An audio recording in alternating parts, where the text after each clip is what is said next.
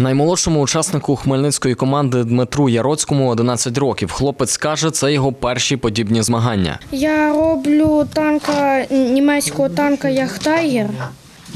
Вже е, я вже так скажемо на фінішній прямій, але тут ще потрібно доробити колеса, зробити гусениці. Дмитро розповідає, хоче, аби його захоплення у судномодельному гуртку переросло у професію. автомеханіком, тому що я вже ж хвалитися не хочу, але я знаю всі е, серовські машини.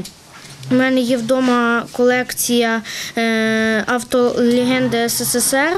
Е, е, зараз в моїй колекції 125 машин, і я пл- планую зібрати до 200. Всього у онлайн-конкурсі представили 12 номінацій, каже керівник судномодельного гуртка Хмельницького палацу творчості дітей та юнацтва Юрій Гаркаменко. Прийняли участь у всіх на- номінаціях. Це е, такі номінації, як авіація, авто, бронетехніка, діарами, літаки, е, фентезі, артилерія, ж- залізнодорожна техніка, ну і інше. Для участі у конкурсі потрібно було зробити шість фото кожної моделі з різних ракурсів та у потрібному форматі розмістити на сайті, додає Юрій Гаркавенко. Щоб перемогти, потрібно було е, зібрати, склеїти, зібрати е, моделі, які б відповідали ну, з, історичної, як з історичної, так і з технічної точки зору найбільш точно. Учасник онлайн-конкурсу Михайло Кульчицький представив 5 своїх робіт. Каже, три з них отримали перші місця. Це е, сухогруз,